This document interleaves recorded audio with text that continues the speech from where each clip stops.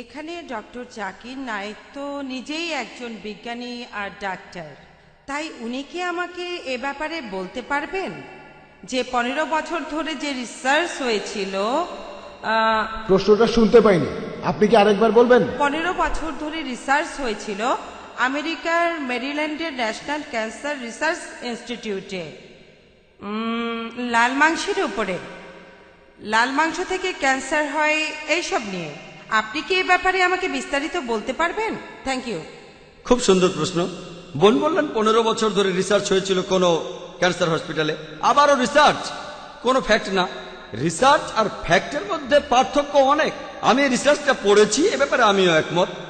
হোক সেটা cancer hospital বা উনার বলা হসপিটালটা অনেকগুলো রিসার্চ পড়েছি। ননভেজ খাবারে মলাশয়ের ক্যান্সার হয়।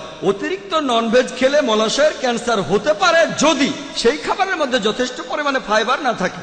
যদি খাবারের মধ্যে ফাইবার থাকে, তাহলে যত ভেজি খান না কেন আপনার ক্যান্সার হবে না। অতিরিক্ত ননভেজ খাবারের সাথে ফাইবার না থাকলে ক্যান্সার হতে পারে। আমরা অনেক ভেজ খাবার হজম করতে পারি না, কারণ এতে সেলুলোজ থাকে। খাবারের মধ্যে ফাইবারের কারণেই আমরা এগুলো হজম করতে পারি।